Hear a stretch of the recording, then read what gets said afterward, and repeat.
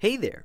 Welcome to Life Noggin. Chances are you felt a little bit of anxiety at one point or another. Maybe before you started a new job or before you got surgery. But some people live with anxiety disorders, which are much more persistent and severe than normal feelings of anxiety or nervousness. Almost 30% of adults will be affected by these conditions in their lifetime, which begs the question what are anxiety disorders anyway? People with anxiety disorders frequently experience feelings of excessive fear, worry, and panic in normal, everyday life. They may be grocery shopping and suddenly feel a wave of terror for no reason at all. Their heart rate skyrockets, their breathing quickens, adrenaline pumps through their body. They eventually calm down, but it isn't always momentary attacks like that. Oftentimes, it's persistent, hard to control fear that affects people's everyday lives. This anxiety and the coupling symptoms like trouble concentrating, fatigue, and even gastrointestinal problems are very difficult to deal with. As is with all mental illnesses, anxiety is not just an overreaction or a personal weakness. There is science backing up these diseases, so telling someone to relax or let it go can be pretty insulting. These conditions are deeply rooted and it's not that easy. Anxiety is believed to start in the amygdala, the brain's so-called fear center, where emotions are processed. Neurotransmitters then alert the sympathetic nervous system of the perceived threat. This is when muscles tense, heart rate and breathing speeds up, and blood flow is rerouted away from the abdominal organs towards the brain. This is our body's fight or flight response, or its way of telling us that we're in danger. This bodily response is what happens whenever anyone feels panicked, but brains with anxiety disorders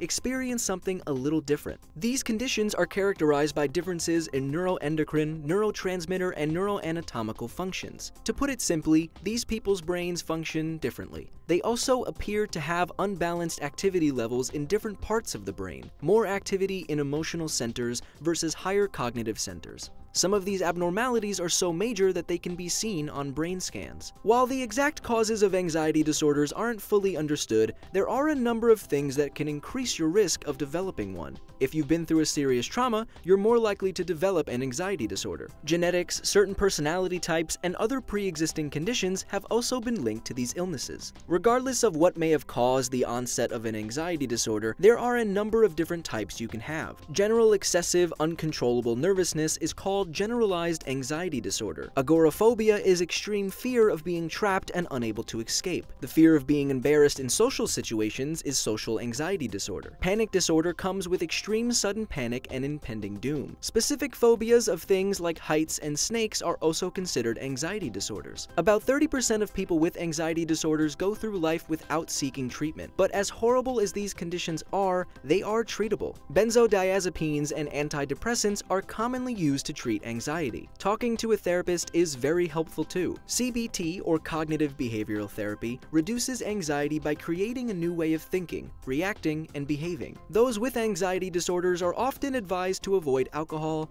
drugs, and caffeine, and to exercise regularly. Other self-care techniques like meditating and yoga can be effective in lessening anxiety too. And remember, there is no shame in seeking help to improve your mental health. Links to free resources are located in the description below. So do you have any tips tips or tricks to calm yourself when you're feeling anxious? Let us know in the comments or tell us what should we talk about next. If you found this video helpful, check out our video on depression. Depression can be more than just bad feelings. It's also been linked to chronic pain, immune system problems, heart disease, and hormone imbalances. In fact, physical symptoms are often the first sign of major depressive disorder. My name is Blocko. This has been Life Noggin.